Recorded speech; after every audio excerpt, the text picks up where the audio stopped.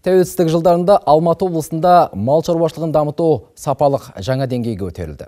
Қой саны 4 миллионға жуықтаса, сиыр 1 миллионға, жылқы 300 мың басқа жеткен.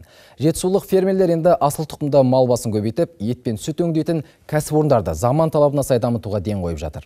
Саланың қазіргі тыныс тіршілігі осы өңірдегі тілшіміз Тілеуғабыл Мыңжасардың арнайы репортажына арқау болды.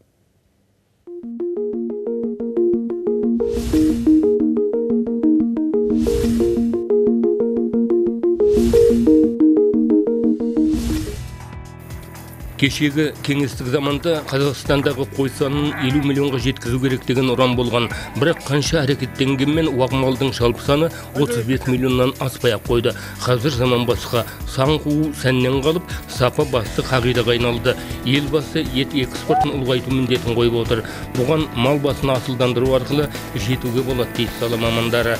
Мына қойларды қазақтың гемпшир деп атайды. Бұлар канадалық қошқарлардың ұрығын жергілікті қойларға салу арқылы алынған. Бұдан 30 жылдай бұрын бұл тұқымнан санаулы ғана мал қалса қазір оларды қайта көбейтудің әрекеттері жасалып жатыр. Оның қошқарларын сатып алушылар көп бүгінде. Жұрт келіп алып жатыр қызығып. Сонау шымкент тараздан шығыс қазақстан қазақстан түкпір түкпірінен келіп алып жатыр ғой былай айтқанда. Гемширдің еті диеталық тағам ретінде өте пайдалы. Тұрлыхан сұлтанов қойдың осы тұқымын көбейтуге атсалысып жүргендердің бірі. Ол 40 фермердің басын қосып малшылардың кооперативін құрған. Мақсаттары мал тұқымын асылдандыру. Қожалықтардың біріккенінің себебі ол ыңғайлы мына субсидиялық өкіметтен ыңғайлы көрінеді. Жеңіл. Сосын осы қожалықтардың барлығы ойымызда.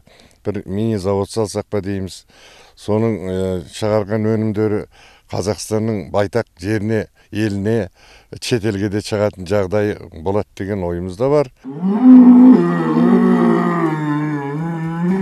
ал мынау асыл тұқымды мал орталығы республика бойынша мұндай орталық екі облыста бар бұл жерде асыл тұқымды ірі қара малдың ұрығын алу жұмыстары жүргізіледі. Қазір орталықта 30 бұқа бағылуда олардың барлығы әлемдегі ең таңдаулы ет және сүт бағытындағы мүйізді ірі қараның тұқымдары. Ұрықтар жергілікті зертханада сақталады. Қазір мұздатылған екі жарым миллион дозалық ұрық бар.